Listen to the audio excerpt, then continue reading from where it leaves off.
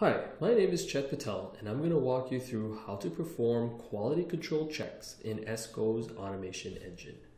In particularly, we're going to take a look at how to review revisions of artwork files, as well as take a look at how can we perform quality checks for barcodes, spell, and braille.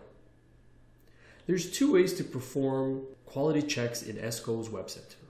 In order to perform quality control checks, you can simply select your two files from this list and click on Global Vision Inspection. Alternatively, what we can also do is we can create a workflow.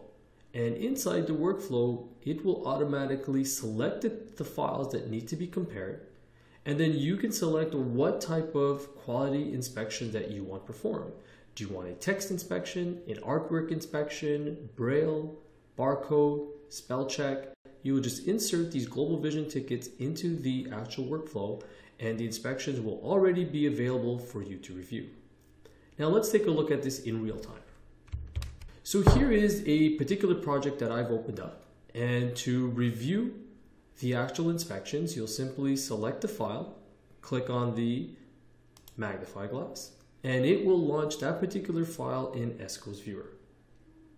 And inside the Esko viewer, depending on which Global Vision tickets were applied to that workflow, you will see those quality inspections be available for you to review right up here. So if I wanted to review a barcode, I simply select the barcode. The barcode is automatically detected. And here's the data that you'll get for it. So it will provide you with the type, the grade, magnification, and bar width reduction. If I wanted to check revisions of artwork files, so it had already automatically selected the two artwork files.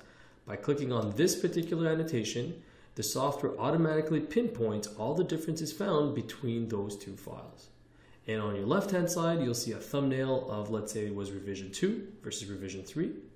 And as I click on it here, it'll automatically zoom into that area. And then if I wanted to create an annotation, I can click on this and create my annotation. And that's how easy it is to review quality inspection in Esko's Web Center.